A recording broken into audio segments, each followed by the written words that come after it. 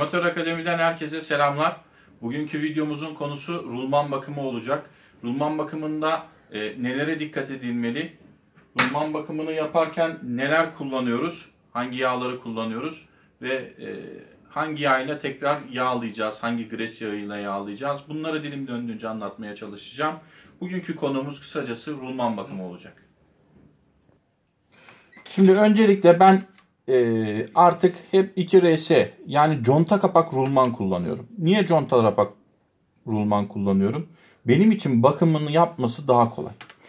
Şu tarz ZZ rulmanlarda şu kaplamayı ben bir kere bile olsun e, zedelemeden çıkartamadım. Bunu zedelediğinizde rulman aşırı derecede ses yapıyor. Zedelendiğinde de zaten bir daha düzeltemiyorsunuz. Sorun orada. O yüzden ben ZZ rulman kullanmayı bıraktım. Araçlarımda kesinlikle 2RS rulman kullanıyorum. Conta kapağı rahatlıkla da açabiliyorum. Şöyle göstereyim diyelim ki.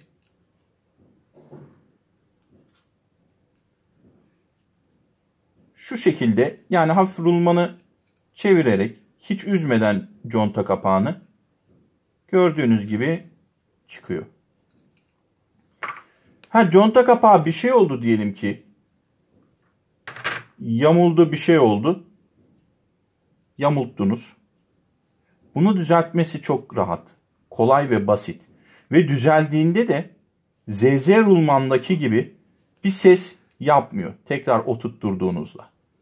Ama bunu kesinlikle buradan falan takmaya kalkmayın rulmana. Eğer çok küçükse böyle bir ince uçlu değildi. Daha da böyle ben bunu bir tornavidadan yaptım. Ucunu sivrilettim. Eğer rulmanınız küçükse şu şekilde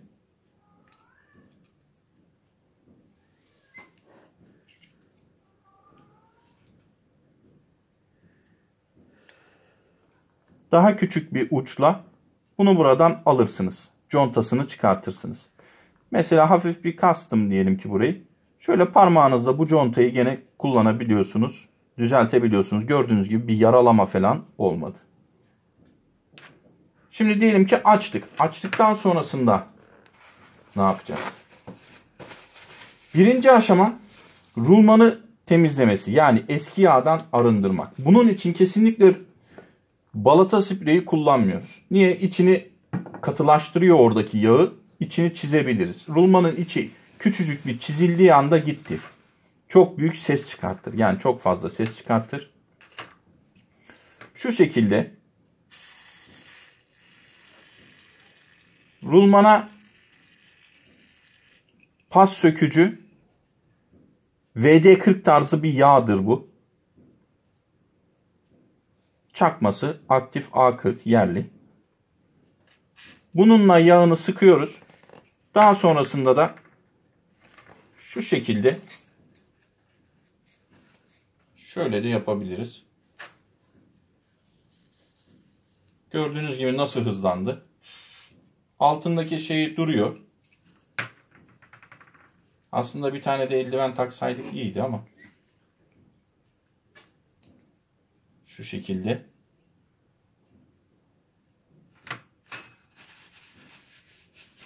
Eldiven takılsaydı daha da iyi olabilirdi şimdi. Bir daha şey yapmayayım. Döktükten sonrasında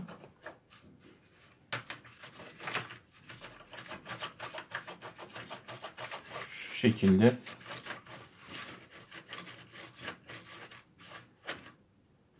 rulmanı temizliyoruz. Bu zaten yaralı bir rulmandı.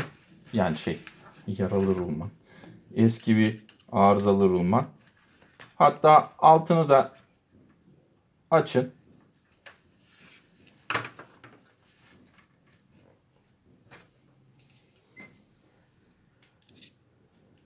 Açtıktan sonrasında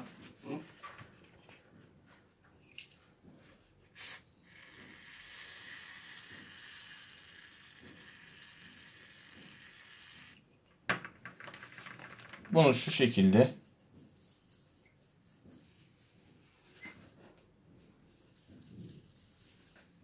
güzelce ne temizliyorsunuz.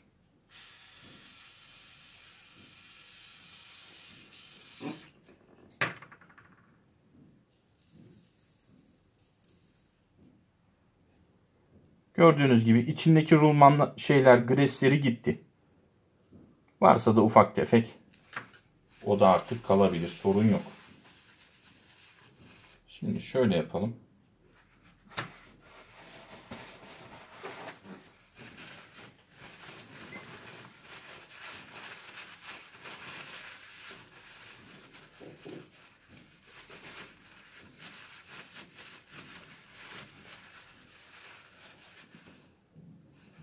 Net gözüküyor mu rulmanın içi?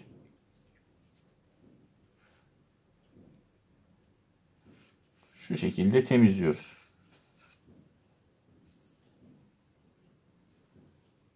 Yağ gibi kayıyor. Rulmanı temizledikten sonrasında ben lityum gres yağı rulmanlar içindir. Ee, bunu Eskayf'ın sitesinde okumuştum. Hani rulman için genel ideal olanının lityum gres olduğu söyleniliyor. Benim lityum gres yağım 3. tip bir gres yağı. Damlama noktası 240 derecede. Bu gayet iyi. Russian gres yağı siz Escalf da alabilirsiniz veyahut da başka markada bu sizin tercihinize kalmış. Ben oradaki gres yağını şöyle bir şeyin içine doldurdum enjektörün içine. Şimdi şöyle yapacağız. Enjektörden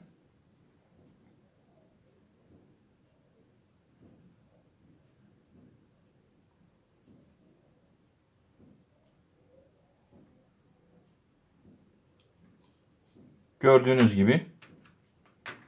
Daha sonrasında da hadi şunu da temizleyelim bir. Contasını da temizliyorsunuz. Hani kalıntı falan pislik olmasın ki içeriye de bir çizik falan oluşturmasın. Rulmanın e, aşırı ses yapmasının sebebi içerideki çiziklerdir. Aynalardaki. Daha sonrasında çok basit ve rahat bir şekilde bu contasını buraya oturtturuyorsunuz.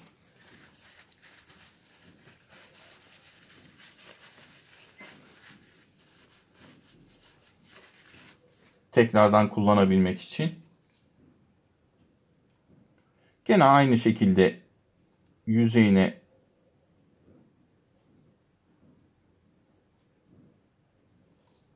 gresini çekiyorsunuz.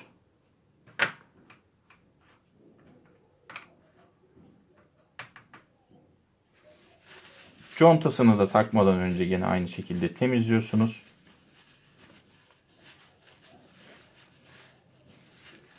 Yani kapağını.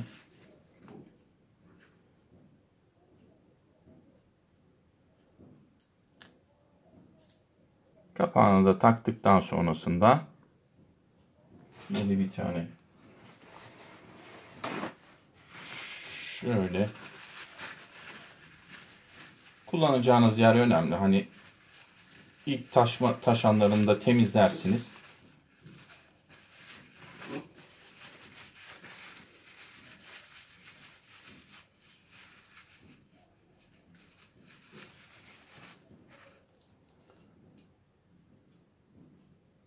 Her zaman olduğu gibi sıkı rulman yani e, gresli rulman öyle stres çarkının rulmanı gibi süratli dönmez. Şuradaki fazlalığını da alalım.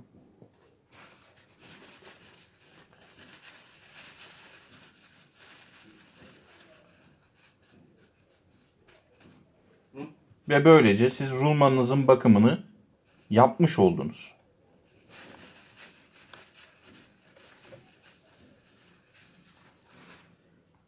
Rulman bakımı bu şekilde yapıyor, yapılıyor arkadaşlar. Eğer rulmanınız çok ses çıkartıyorsa e, hangi yağı koyduğunuz önemli değil içine. Hangi gres yağı koyduğunuz önemli değil. O rulmanın içinde mutlaka bir ses şey çizik oluşmuştur. Bu çizik neticesinde ise bu ses e, artar miktarda devam eder. Nefransiyelden de gelebilir, tekerin e, rulma şeyinden de gelebilir, kampanadan da gelebilir. Yani milin döndüğü olabilir. Akülü tekerlekli sandalyelerde mesela e, garç garç diye ya da tak tak tak diye sesler gelir rediktörden. E, dediğim gibi yani o iç yapı bozulduğu zaman ne şekilde bakım yaparsan yap, hangi yağı koyarsan koy bu rulmanı kurtaramazsın. O rulmanın ömrü dolmuştur. Rulmanlar evladiyelik değildir. Rulmanların rutin bakımları vardır. Yani e, bakıma alınabilen parçalardır bunlar. Alınması gereken parçalardır. Yağın içinde çalışmıyorsa. E, bu şekilde de bakımınızı yapabilirsiniz. Dediğim gibi şöyle bir e, yağ pas sökücü pas sökücü sıvı yağ ile ilk önce içindeki yağını akıtıp daha sonrasında ise e, gres yağınızla da yeniden gres çekip contasını kapatıyorsunuz. Tek derdimiz açarken bu contaya ortadan falan sağından solundan bastırmayın. Şu uç noktadan şöyle saniye.